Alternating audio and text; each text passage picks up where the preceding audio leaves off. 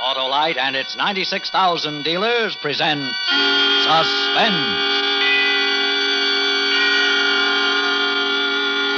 Tonight, Autolite brings you The Rose Garden, a suspense play starring Miss Miriam Hopkins.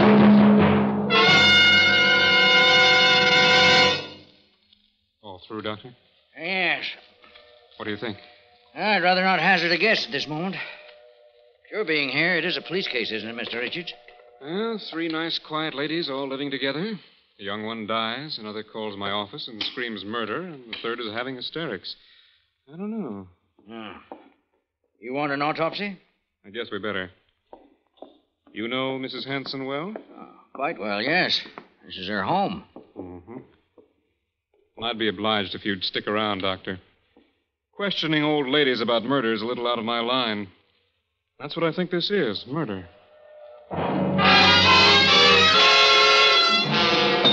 In just a moment, Miss Miriam Hopkins in the first act of The Rose Garden. Hey, What are you doing, Harlow? Why are you standing there banging your hand on your forehead? I'm saluting, Hap. Saluting. Oh, I get it. Saluting world famous ignition engineered Autolite spark plugs. No, Hap, not that those wonder working whizzes don't warrant a whale of a whack. They certainly do. But tonight, I'm saluting the truckers of America, those grand, courteous, nonpareil purveyors of conveyors who are holding their annual get together in New York City this week. Oh, you mean the American Trucking Association, Harlow. The same. Why, they're the world's safest drivers, Hap. And they do a grand job of making our highways safer places on which to travel with their never ending safety campaigns. They've got millions of accident free miles to their credit. How do they do it? Well, I'm not sure, Hap, but I think ignition engineered Autolite spark plugs must be behind it somehow. Because, well, because you're always right with Autolite. And now, with The Rose Garden and the performance of Miss Miriam Hopkins as Mrs. Trimble, Autolite hopes once again to keep you in suspense.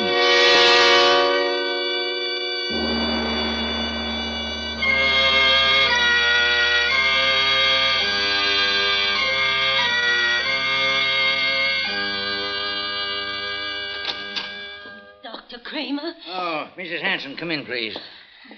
I'm afraid I can't tell you anything, but the sheriff wants to ask you some questions. She did it. I know she did. That's what you said before, Mrs. Hanson, but Look, I found this. It was in my room. Effie left it there. She must have wanted me to read it. It was in my bureau. diary? Oh, I read enough, I know. All right. Uh, would you wait outside, please? I'll look at it. Uh, doctor, as soon as Miss Bone has recovered, I'd like to see her. Oh, good. Oh, it's so horrible, Dr. Kramer. I don't know what I'm going to do. July 15th. I arrived today. It's a quiet little house on the edge of town. How neat and orderly everything looks.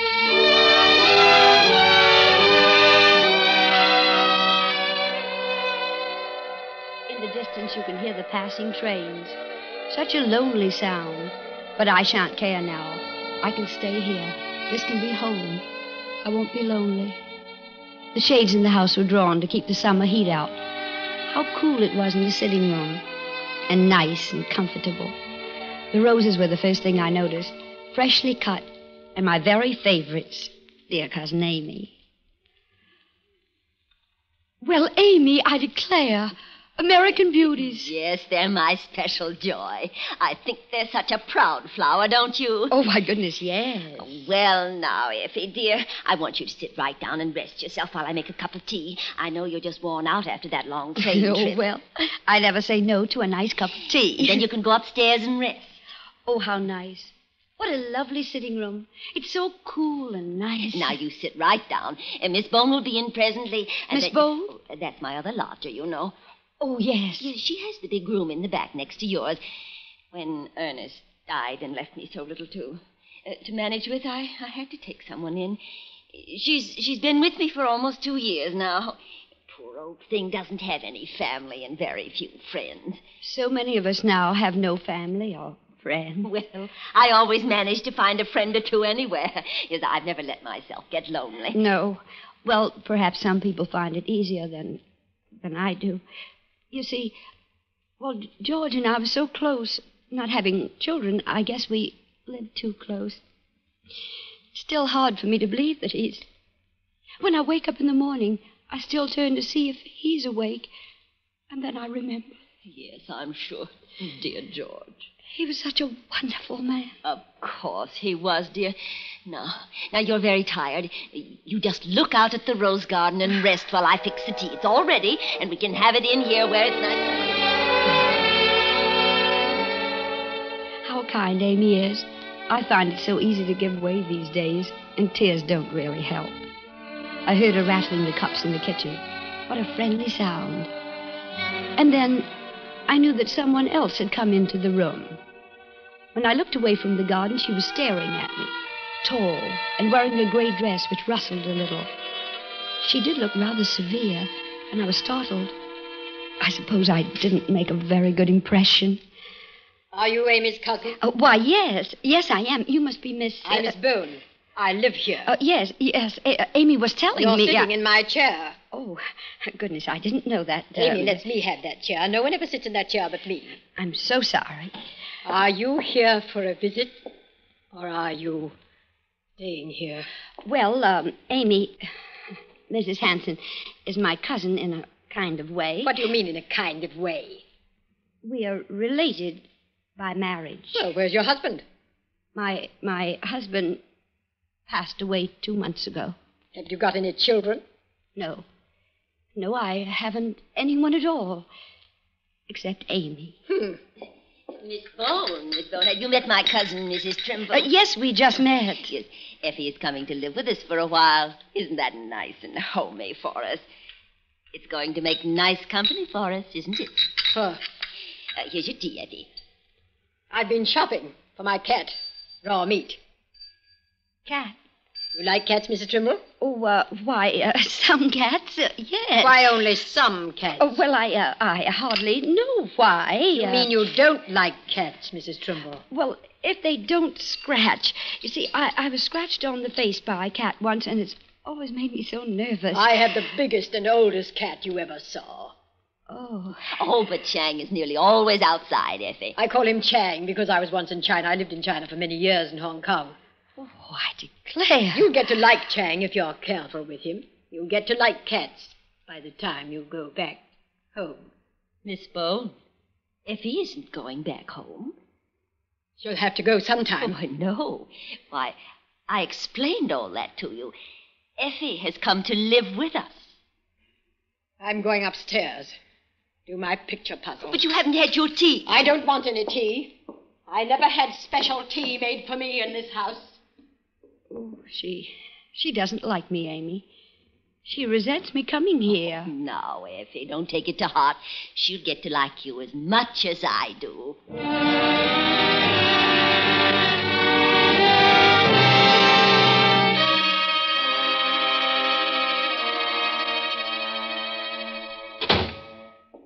Are you there, Amy? I'm back. Who's that? Who's there? Oh, goodness, Miss Bone. Oh, where's Amy? Amy is not in. Uh, not in. Oh, dear. She's gone to pick up a telegram. Um, uh, Miss Bone, uh, would you like me to make you some coffee? I'm going to make a cup for myself, being tired and hot. Um, my husband always used to say I made the best coffee he ever tasted. Chang! Where are you? Come here, Chang! Oh, uh, well, then I think I'll just go upstairs Wait. and. Uh, Here he is. Comes the minute I call him. Come here, Chang. Oh, isn't he the sleekest, biggest cat you ever laid eyes on? Look at that shiny coat. Raw meat does that, nothing like it. my, yes. Why don't you stroke him? He won't hurt you. Oh, no, I. Go um, on, stroke him.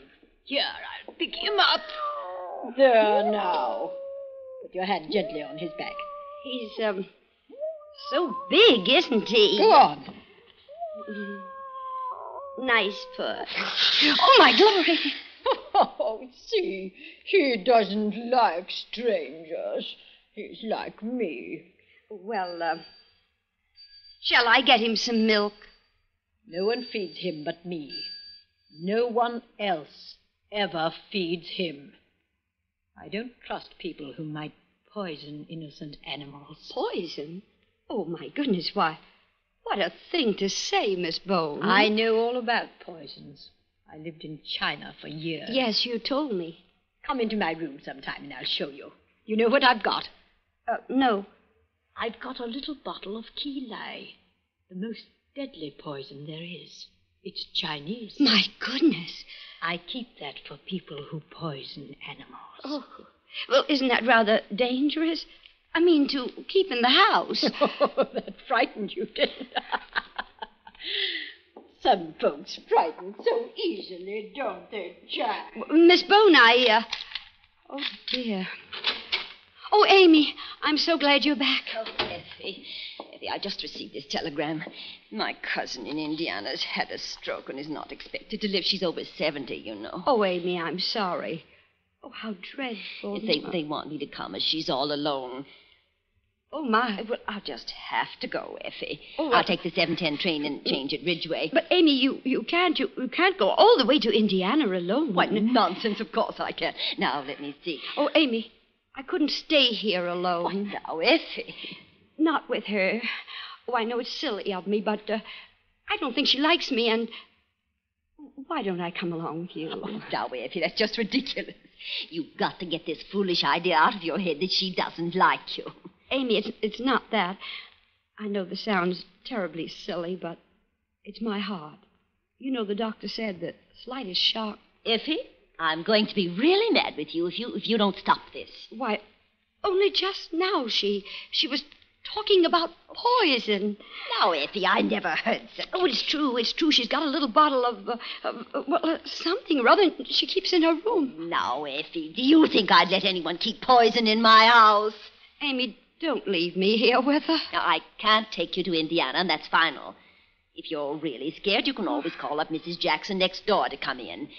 Will you make me some coffee, and I'll get supper on the train? Amy, please.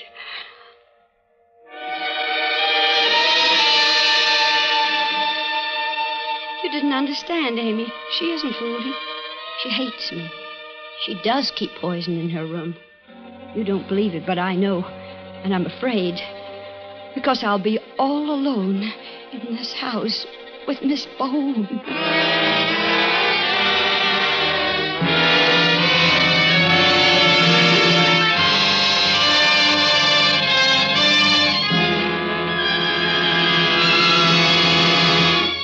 Autolite is bringing you Miss Miriam Hopkins with Jeanette Nolan in The Rose Garden.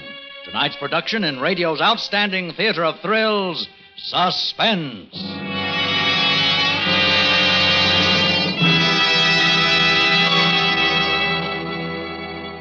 Harlow. So you're getting your car ready for cold weather. Ah, you know me, Hap. Old weather eyes, winter eyes Wilcox. Why, when I step on the starter in a big blizzard, I buzz off like Bugs Bunny in a beehive. I see now you need antifreeze, changeable oil, transmission grease, and... Check your spark plugs, too. Hey, that's right, Johnny Plug Check. Spark plugs are the very heart of your car's ignition system. So when they're right, your chances of starting are better than ever, even on coldest days. You mean spark plugs need winterizing, too? Why, sure, Hap. And if you need any replacements, tell them to put in ignition engineered Autolite spark plugs. The spark plugs that are world famous for quality and dependability. Why, man, they're engineered by the same Autolite ignition engineers who engineer coils, distributors, and all the other important parts of the ignition system to operate as a perfect team.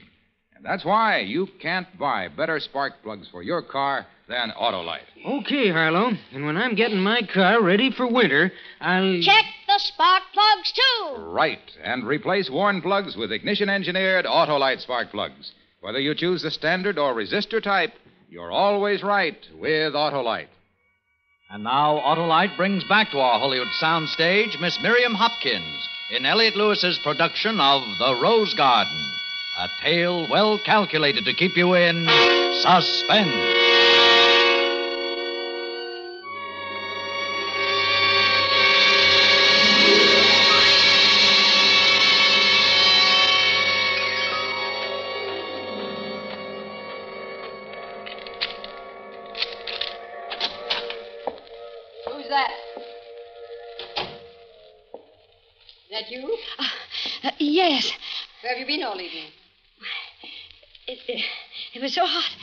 I, thought a little walk. Why are you so out of breath? You've been running? Oh, uh, it's my heart. Sometimes. People with bad hearts have no business to be running. Well, I wasn't. I've been doing my picture puzzle. Want to see? Well, I'm a little tired now. I think I'll just go right to bed. It's a Chinese one. I've done it 73 times. There are 2,000 pieces. Come and see. Come on. Uh, well, uh, Come on. Never seen my room, have you? No, I. I'm proud of my room. It's full of priceless relics. This is my room. It's. Oh, it's so hot in here. I never open a window. It's an invitation to murder. Yes, I suppose it is. Well, I declare, what a huge picture puzzle. 2,000 pieces. It's what we used to call a jigsaw. It is not. Oh. The Chinese picture puzzle represents the murder of the Princess Chuloa in the Third Dynasty. She was poisoned. Oh. I'm working on her hand now. It's all finished except her hand lifting the fatal cup. Yes, it's almost finished. When I've finished, she will be dead. My, she's very beautiful. I was considered a beauty when I was young. I had every beau in town at my feet. I'm sure. But I wouldn't have one of them. Hypocrites. All men are hypocrites and liars. Oh, I don't know. Not all. What do you know about it? See this? Now, this is my special fancy. Oh. Isn't that lovely? My. Oh, What is it? Can't you see? Well, it's so dark in here. It's a little golden vial. Here, smell. My goodness. It's sweet, isn't it? Like, uh, like something. Uh, Deadly. Kilai. Tiny scratch and you'll be dead in two minutes. Don't drop it. Oh, please. Give it to me. I keep this for enemies. Well, you oughtn't to have a, uh deadly poison around the house. Now, what if someone picked it up by accident? What's the matter with you? Uh, me? What's the matter with your hands? Well, nothing. Keep rubbing them together. I hate nervous people. I, uh, if you'll excuse me, I must go to bed now. And don't be nervous with me. You're not, are you? Oh, gracious, no. Then come and sit down. Uh, n- no, thank you. Come I, do uh, as I tell you. Sit here on the bed. Well, just for a minute. I. oh, my. you didn't know he was here, did you? He likes to sleep under the eiderdown. Oh, you did it on purpose, Miss Bone. I think it's. Oh, some folks scare very easily. It, it gave me such a fright.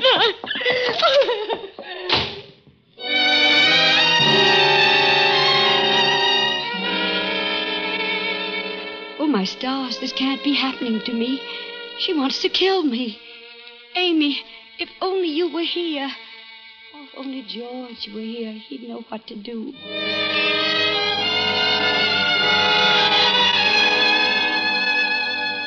July 21st. She watches me. Even when I'm in the rose garden, I can feel her watching behind the curtain. Today I thought I'd talk to Mrs. Jackson next door. Amy introduced us before she left, but Mrs. Jackson was out. She's away, too. She looked kind. She might have been able to help. I walked back through the garden and picked some of the roses. The house is different now, even with the roses. Wicked, lonely. I went into the kitchen to make some coffee. Where have you been? Oh, I'm sorry. You frightened me. I, I didn't hear you. I uh, I went next door to see if Mrs. Jackson. uh, She's gone away. uh, yes, I know. I uh, I wanted to ask if she had if she, if she had any sugar. Why do you lock yourself in your room all today and all yesterday? I I had a headache. Headache. Oh, I. Uh, do you want coffee, Miss Bone? You left the gate open in the garden when you came in.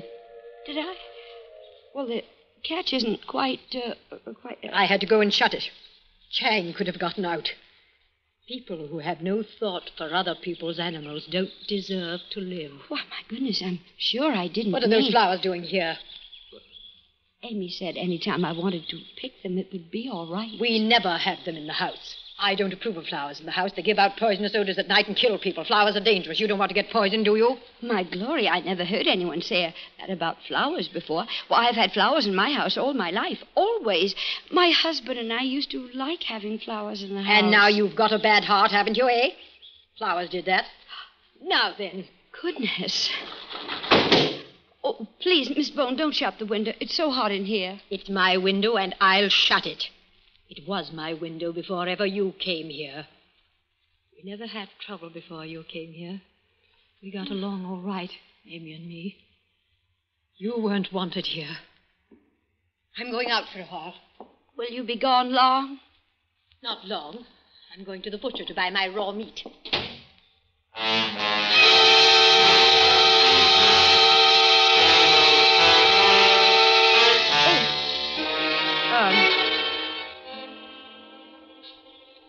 Yes.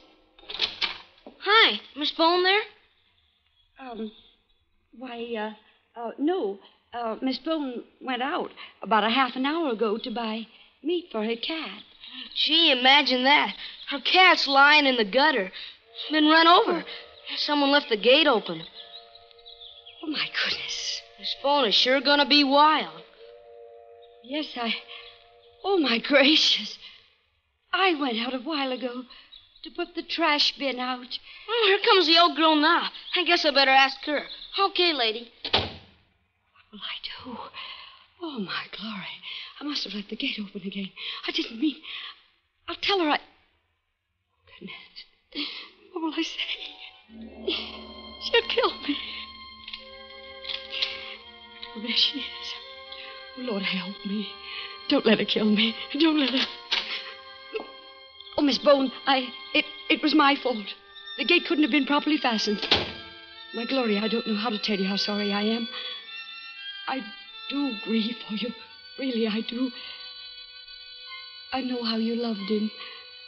Why, I wouldn't have done it on purpose. You know that. I wouldn't ever hurt a little animal on purpose. Why, my goodness, George always said I wouldn't step on a snail. He used to chide me. M- Miss Bone, I'll get you another cat. I promise on my word of honor. Miss Bone, please don't go upstairs. Miss Bone. Oh, Miss Bone.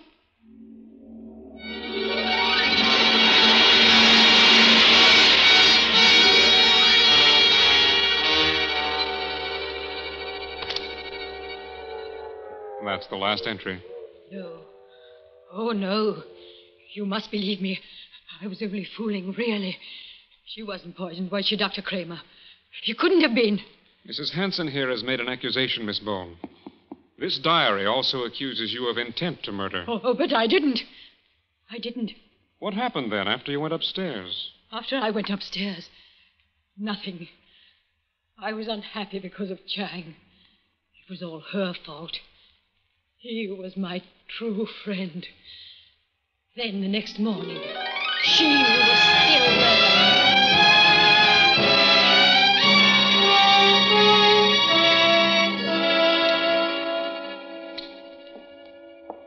Miss Bone.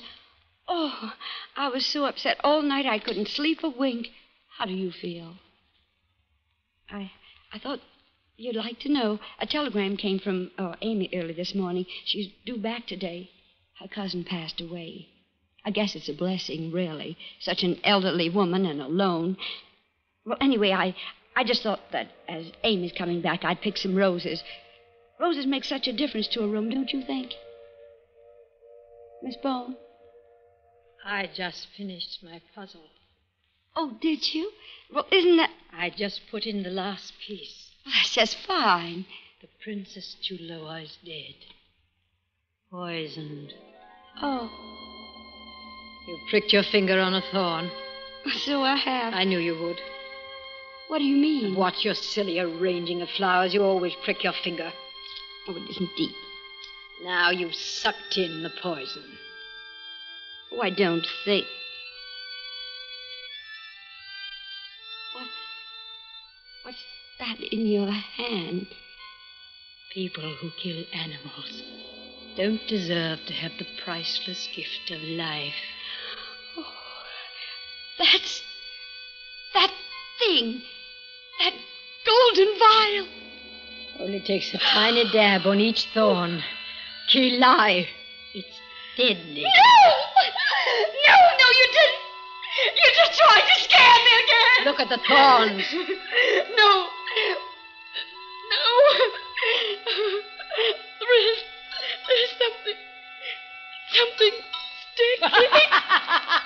Oh, my Lord.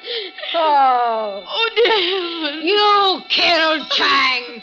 You killed my lovely boy. I didn't mean. Where are you going? Oh, doctor. Got to get you. Doctor. You won't have much time. Where, where's, where's the telephone? I, I can't. I can't find. I can't. Fluttery woman. I hate you. We never wanted you in this house. You cat killer! Stop crawling on the floor, you stupid little woman. There's nothing wrong with you. Get up. Go away. Amy and I can live alone in our house. Help me. Oh, somebody help me. Get up! I was only joking. There's no poison. I wanted to pay you back, that's all. What's the matter with you? I can't breathe. Oh, now you're trying to frighten me. Get up, you're all right. Effie, what's happened? What? Amy, get, get the doctor. She, she's poisoned me.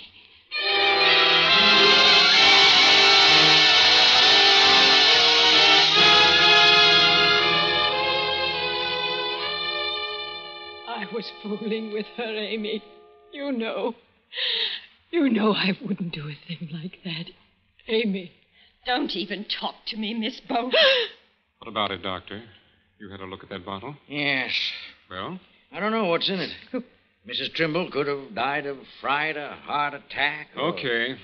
Either way, you better come along with me, Miss Bone. Oh, you don't understand. I was joking with her. I wanted her to leave, that's all. She was such a stupid little woman. I was only trying to frighten her. You did. Come along, please.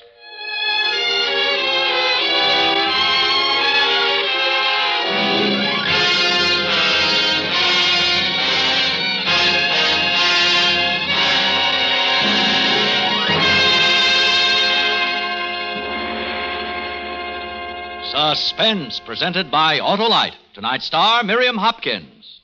Check those spark plugs, too. Check those spark plugs, too. Yes, friends, take Johnny Plug Check's advice. When you winterize your car, have your spark plugs checked too at your Autolite dealers. And remember, Autolite makes more than 400 products for cars, trucks, planes, and boats in 28 plants coast to coast. These include complete electrical systems used as original equipment on many makes of America's finest cars. Spark plugs, batteries, generators, coils, distributors, electric windshield wipers, starting motors, bullseye sealed beam headlights. All engineered to fit together perfectly because they're a perfect team. So, friends, don't accept electrical parts supposed to be as good. Ask for and insist on Autolite original factory parts at your neighborhood service station, car dealer, garage, or repair shop. Remember, you're always right with Autolite. Next week on Suspense, Mr. Milton Berle as star of Rave Notice. Next week, Suspense brings you a real curdling yarn called Rave Notice. It's the story of a frustrated actor starring Milton Berle, whom I think is one of the finest young dramatic actors of our day. this is Milton Berle speaking. And in weeks to come, you will hear such famous stars as Howard Duff and Barbara Stanwyck appearing in tales well calculated to keep you in suspense.